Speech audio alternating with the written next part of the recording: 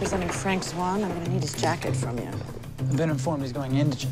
Uh, he was. His mother in Santa Barbara, however, is not, and she retained me this morning.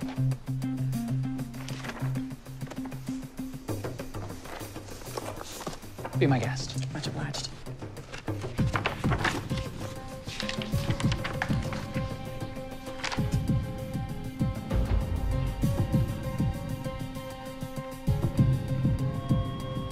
Five.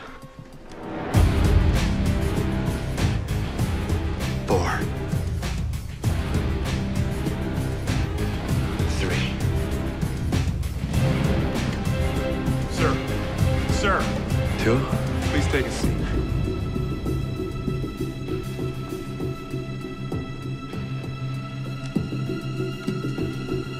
One.